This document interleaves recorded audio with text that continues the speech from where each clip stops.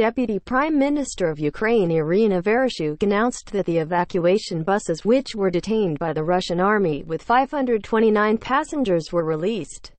Vereshchuk, in a statement on his Telegram account, stated that the evacuation buses detained by the invading Russian forces in the Ukrainian city of Melitopol were released and thus it was possible to evacuate 529 passengers reminding that they could not get permission for evacuation in the cities of Berdyansk, Tokmak and Energodar in the Zaporozhye region.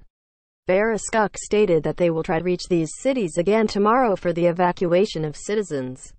Vereshchuk stated that in the last 24 hours, 3,425 people reached Zaporizhia from Mariupol and Berdyansk via humanitarian corridors with their own vehicles and evacuation buses, and 578 people were evacuated from the cities of Lysychansk, Severodonetsk, Rubizhnoye, Kreminna and Popasnaya in the Luhansk region.